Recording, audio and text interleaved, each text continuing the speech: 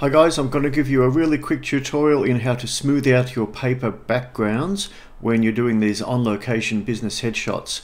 Now with this particular image I've already done the skin correction so I'm going to make a merged layer from everything below.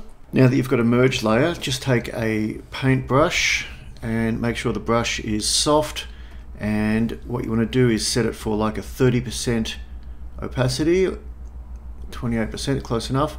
Sample the paper and brush in making sure just to not paint over the client himself.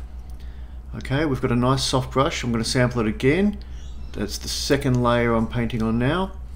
Remember we are at a 28% opacity. As you go around the image you want to continue sampling around the image so that you're sampling for example the dark blue here, light blue here, and we are just painting that color back onto the image. Okay, and you can see what that's done is it's removed all of the ripples in the paper. It looks pretty much like a painted wall now.